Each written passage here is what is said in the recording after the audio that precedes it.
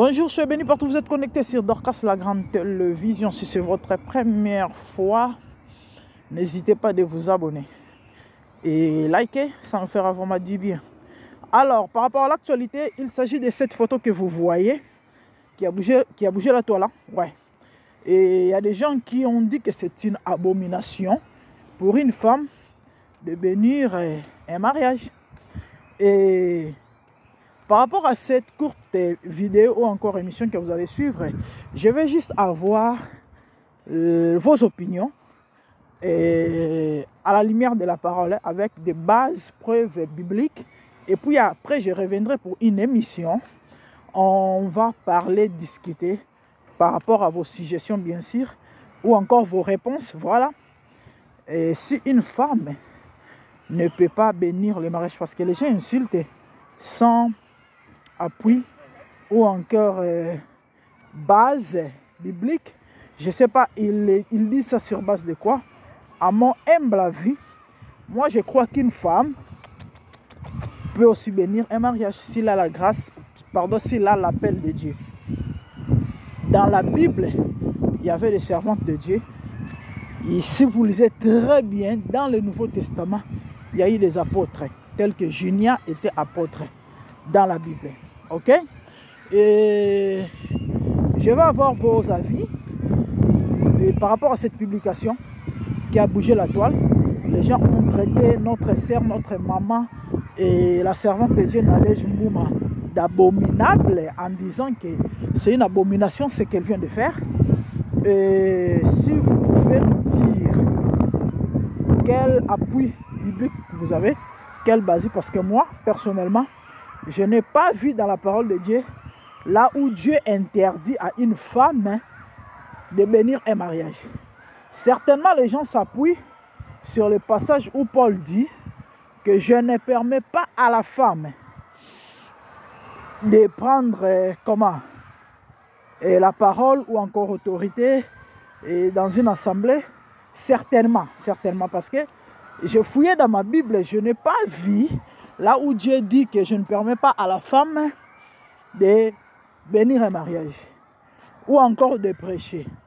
Paul dit, en fait là je donne euh, mon avis, mon opinion et vous, vous allez aussi donner le vôtre dans les commentaires. Je reviendrai pour une émission par rapport à tout ce que vous allez écrire. Certainement, se comprend poliment, gentiment. Soyez tolérants, ok? Parce que même euh, la Bible reconnaît qu'on peut avoir des divergences.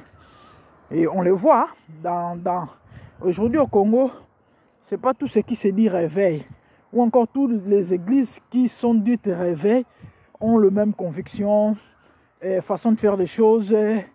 Et certainement, vous me comprenez, il y a ceux qui croient au ministère de la femme, il y a ceux qui ne croient pas, il y a ceux qui, croient que la femme peut mettre n'importe quelle tenue, il y a ceux qui disent que non, mettre les pantalons est, une abomination aussi, bien que moi personnellement, je n'ai jamais vu dans la Bible. Bon, là, c'est un autre débat. On, reviendrait. Mais commençons par là d'abord. Je ne vais pas ouvrir trop de brèches, mais certainement, je me fais comprendre. J'ai dit par rapport aux différentes opinions qu'on a tous, qu'on a tous et, et sur notre, notre foi et différentes églises. Il y a des ceux qui disent que non, la femme doit se voiler, il faut mettre un foulard. Moi, pour moi, là, là et quoi? Le voile que la Bible parle, c'est le chevet parce que l'apôtre Paul est clair là-dessus. Je sais que ça, c'est encore un autre débat.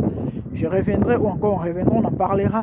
Mais restons ici sur euh, cette photo qui, qui, fait parler les gens en disant que c'est une abomination, nanani, nanana, etc. etc. Donc dites-moi qu'est-ce que vous pensez? Moi, j'ai dit que personnellement, je n'ai pas vu dans la Bible, vous, si vous pouvez m'aider, me montrer, me donner ce passage qui dit, qui interdit à la femme de bénir un mariage. Moi, je sais que c'est Dieu qui appelle et il peut appeler l'homme tout comme la femme.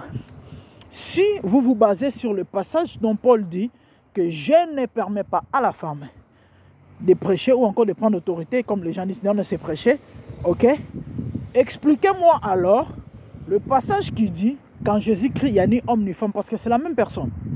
Paul qui a dit que je ne permets pas à la femme de prêcher, c'est le même Paul qui dit quand Jésus-Christ a ni homme ni femme. Et là, il s'agit, il s'agit du français. Hein.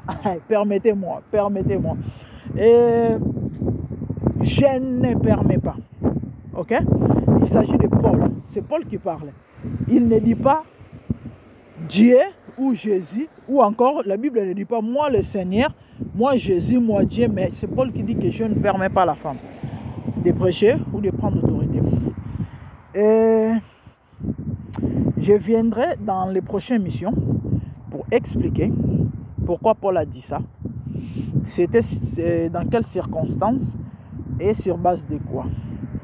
Et vous serez d'accord avec moi le même Paul, quelque part, dit, je crois, dans 1 Corinthien, quand il parlait sur le mariage, lorsqu'il a interdit aux hommes qui ne sont pas mariés de se marier, il était clair en disant que ce n'est pas le Seigneur, mais c'est moi. Il y a pas mal de passages où Paul mentionne et dit que ce n'est pas le Seigneur, mais c'est moi. De ce qui veut dire, il a aussi donné ses avis à lui, étant homme, étant serviteur de Dieu. Par exemple, sur le mariage, est-ce que vous imposerez vraiment aux gens qui ne sont pas mariés, pardon, ou encore aux hommes qui ne sont pas mariés de ne pas se marier? Mais bien sûr que Paul a proposé ça. Il a dit que si ce n'était que pour lui, il, euh, il va préférer qu'on reste célibataire. Mais pourquoi les gens ne se penchent pas là, mais seulement sur la femme? Je ne sais pas si je me fais comprendre. Donc, Paul a donné aussi ses avis, ses opinions, étant qu'humain, étant serviteur de Dieu, étant enfant de Dieu, qui n'est pas mauvais, mais selon lui, ce qui veut dire, si quelque part, euh, une personne donne, aussi son opinion, je ne dis pas n'importe quelle ou encore euh, euh, en désordre, parce que le même Paul dit que nous sommes, c'est pour la liberté que Christ nous a franchi, mais nous ne devons pas faire de cette liberté un précepte de vivre selon la chair. Certainement, je me fais comprendre. En fait, aujourd'hui, c'était juste un briefing par rapport à cette photo qui fait parler. Et j'aimerais avoir vos opinions, les amis. Et puis après, je ferai une émission où j'aurai aussi les avis des serviteurs de Dieu, à la lumière de la parole, bien sûr. Donc, comme je viens de le dire, soyez tolérants et, et poliment. Écrivez, commandez. Je crois peut-être demain ou après-demain, je ferai une émission par rapport à vos réponses et là, je vais encore expliciter par rapport à ce que moi je connais.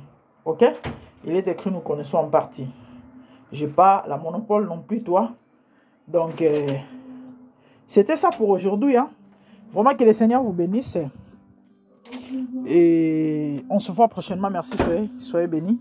Des bonnes choses à voir plus.